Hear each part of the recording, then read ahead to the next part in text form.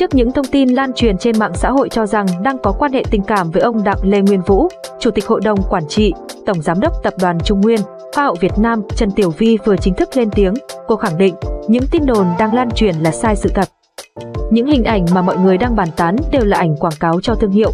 Việc theo dệt những câu chuyện sai sự thật là hành vi vô đạo đức, Hoa hậu Trần Tiểu Vi bày tỏ trên trang cá nhân. Những thông tin vô căn cứ tưởng chừng như chỉ để câu tương tác như thế lại gây ra những hệ quả vô cùng lớn.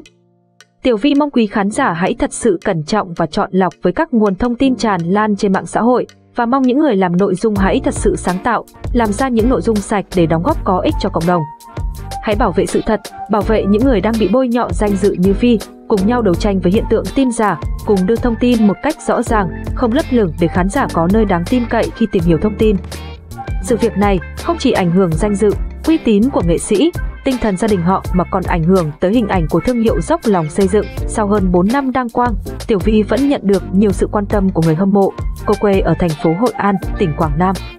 Với chiều cao 1m74, số đo 3 vòng là 84, 63, 90, chân Tiểu Vi đã vượt qua 42 người đẹp để đăng quang ngôi vị cao nhất cuộc thi Hoa hậu Việt Nam 2018.